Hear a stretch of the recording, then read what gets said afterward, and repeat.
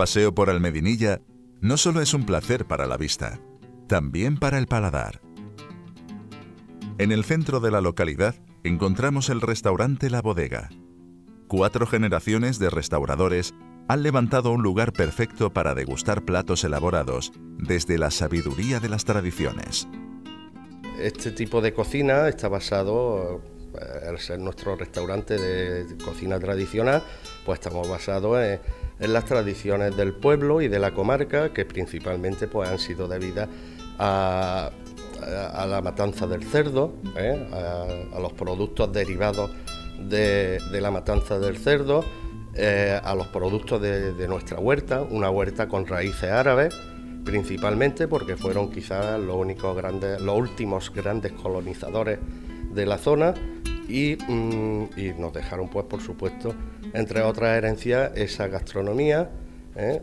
con unos platos muy especiales, muy diferenciados con respecto a otras zonas, como son los adobillos, ¿eh? son muy similares a los revueltos de otras zonas, pero el, adobillo se diferencia principalmente porque tiene eh, una base de una salsa un poquito más caldosa, es mucho más jugoso que los revueltos tradicionales, ¿eh?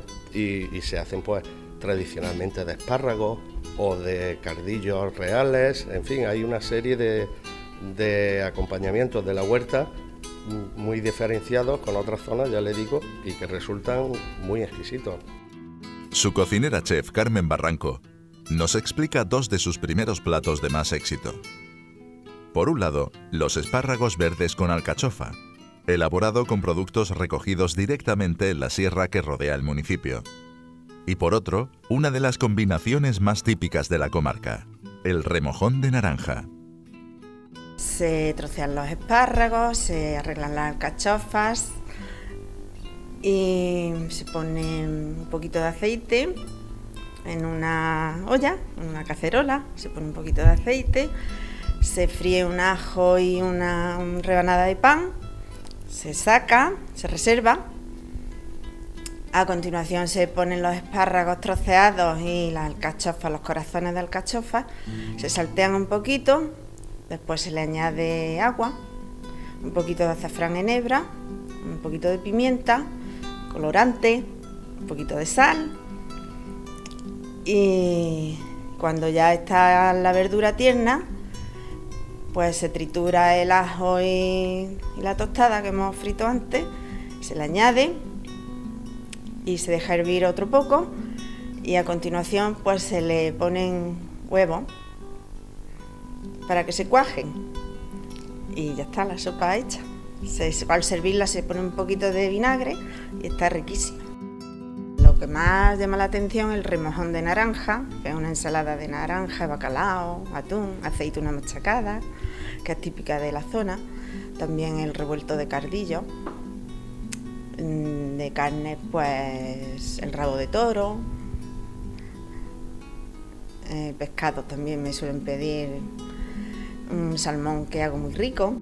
A pocos metros de distancia, en la entrada del pueblo por la Ronda de Andalucía, encontramos el restaurante Los Cabañas. Un negocio familiar que debe su nombre a la especial decoración del local en sus inicios. Gregorio Muñoz regenta este restaurante, que presume de utilizar uno de los mejores aceites. Aquí se mueven las medallas de oro las más importantes eh, se mueven aquí en la zona nuestra, de Priego al Medinilla y por aquí es por donde se mueve el mejor aceite, digamos, del mundo. ¿no? De hecho, nos han colocado una vitrinita, nos han puesto una exposición y la verdad es que se vende aceite. Eh, se vende aceite, la gente quiere probar lo bueno, ¿no? Eh, lo venden muy caro, el bueno, bueno, bueno, lo venden muy caro, pero la gente insiste y lo prueban y, y la verdad es que es un gozo, ¿no?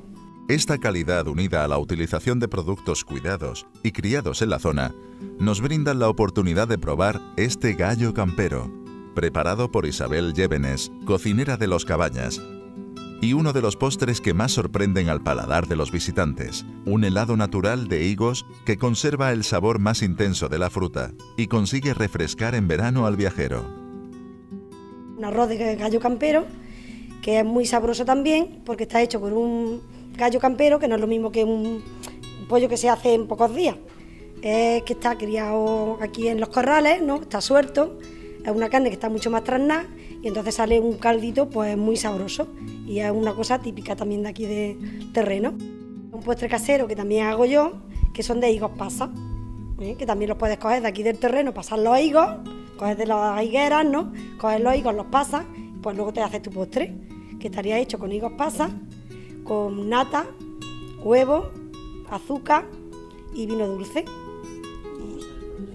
Y entonces el proceso es primero montar la nata, eh, luego bater los, huevos, montar la nata, separa la yema de los huevos, la clara la monta aparte, en la yema echas el azúcar, monta la yema por un lado, la clara por otro lado, luego le echas los higos, que ya van remojados en el vino dulce, y nada, todo lo mezcla y luego lo congela y sería un helado de higos, también que es una cosa típica y casera que lo puedes elaborar, vamos, que lo coges de la higuera, lo pasas y lo haces tú. Un menú que pueden completar con el revuelto de collejas silvestres o el lomo a la orza, que son solo algunas de las especialidades que les esperan en esta localidad.